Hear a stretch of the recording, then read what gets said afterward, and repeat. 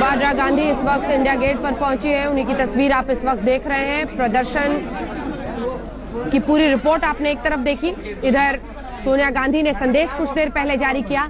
और अब प्रियंका गांधी पहुँची है लोगों के बीच में। इंडिया गेट की ये तस्वीर बताई जा रही है और प्रियंका वाड्रा यहाँ पर पहुँची है इंडिया गेट पर।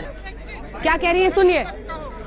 आप बताइए, अगर किसी को अगर किसी को दस्तावेज़, पुराने दस्तावेज़ निकालने पड़ेंगे दिखाने के लिए कि उनकी ज़मीन है, कि वो पैदा कब हुए, कहाँ हुए अगर आपकी दादी को दिखाने हो तो दिखा पाएँगी।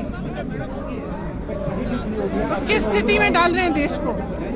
जिस तरह से नोटबंदी के लिए लाइन में खड़ा किया था उसी तरह से अब ये चाह रहे हैं कि इस इस मुद्दे पे लाइन में पूरा देश खड़ा हो। कौन अफेक्ट होगा इससे? जो अमीर है जो अमीर है वो तो पासपोर्ट दिखा देगा। जो गरीब है वो क्या करेगा? जो डेली वेज के लेबर हैं वो क्या करेंगे? जो जो डेली जो डेली वेज के लेबर है जो Joel, Joel, I agree with you. I've just come to say hello. I've come. Yeah. I agree. I agree with you. I agree with you.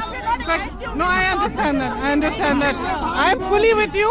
And in fact, that's why I came quietly. I don't want to make a drama here. I just came. I just came for solidarity towards you. Okay, and to say we're with you and we stand with you. And listen. If you prefer, we'll go quietly.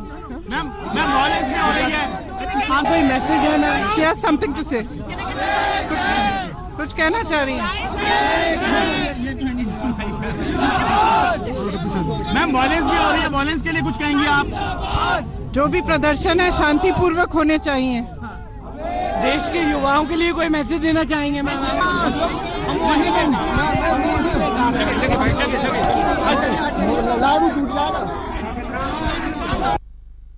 भी जा रही है राम मंदिर है और सुशांत मंदिर है मैं यहाँ किसी ड्रामे के लिए नहीं आई हूँ, मैं सॉलिडारिटी यानी लोगों को अपना साथ दिखाने के लिए, बताने के लिए कि मैं उनके साथ खड़ी हूँ, यहाँ पर पहुँची हूँ। देश को कहाँ ले जा रही है सरकार?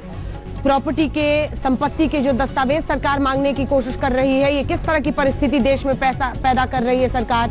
कटघरे में मोदी सरकार को खड़ी करती हुई प्रियंका वाड्रा जो की पहुँची है इंडिया गेट पर। एक बार सुनाते हैं आपको फिर से, क्या कहा है उन्होंने? खा पाएँगी। तो किस स्थिति में डाल रहे हैं देश को?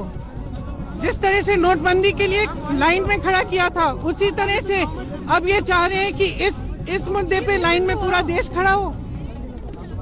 कौन अफेक्ट होगा इससे? जो अमीर है जो अमीर है वो तो पासपोर्ट दिखा देगा। जो गरीब है वो क्या करेगा? जो डेली वेज के लेबर हैं वो क्या करेंगे? खा पाएँगी? तो किस स्थिति में डाल रहे हैं देश को?